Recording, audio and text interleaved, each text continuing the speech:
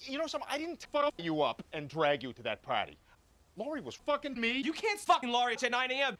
listen to yourself. That's your choice, Josh. You're just making yourself look like a pussy. You know, sometimes I think back to that Christmas morning when I was eight years old. I wish I just got fucked up. Say this. Ted! Ted! Teddy! Ralph! Fuff! Pip! Pip! Pip! Sometimes-